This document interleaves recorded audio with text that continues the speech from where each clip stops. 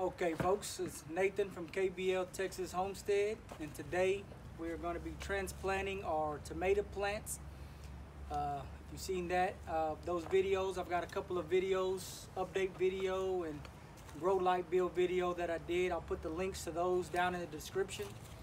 But I planted these uh, tomato plants right here underneath a uh, experimental grow light back on 212 and we've been seeing how they were going to grow and they're doing good. They look great. Um, they're a little leggy for my liking but nothing we can't fix. So we're just going to bury them a little deeper today in this uh, bed here. But we're going to get these uh, put in the ground and uh, stick stick with us as we show you how we do that. I'm gonna take some of these and put them in this bed and then some of them are gonna go into pots more than likely. So let's uh, let's get to it.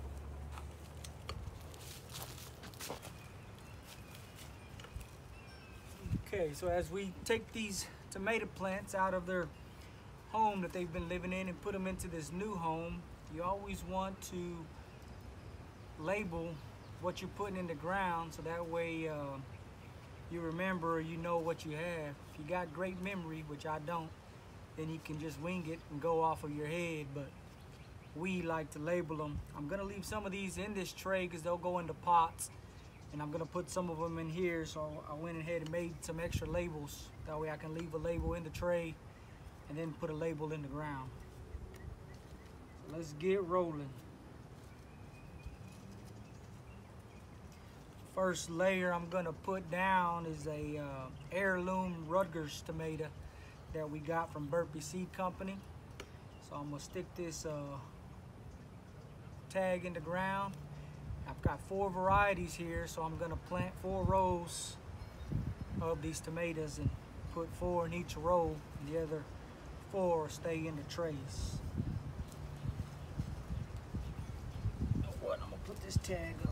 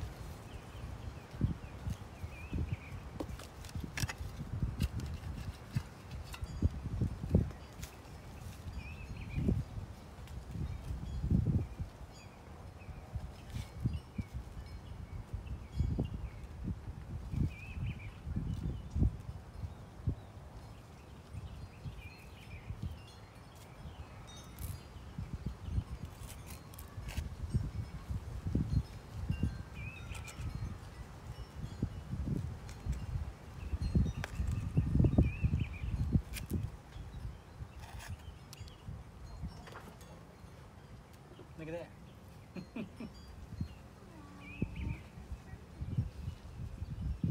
you, did have some. Are you with that here? Nah, it's fine. You sure? Yeah, I got this already.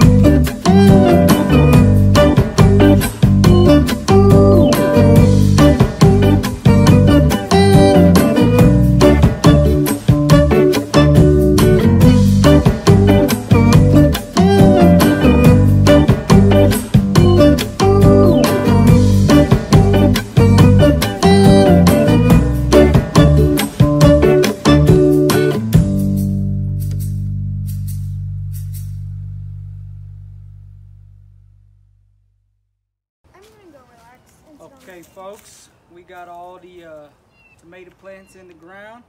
I'm gonna go ahead and uh, put some water on them, water them in, help them along their journey as they start growing.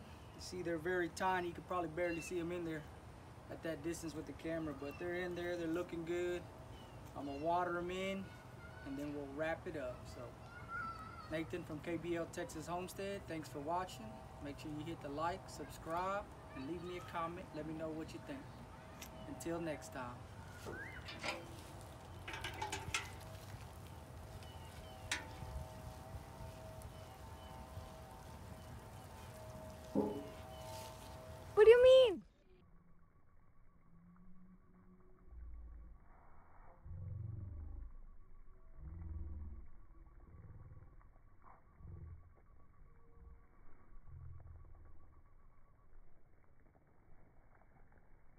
To turn it on?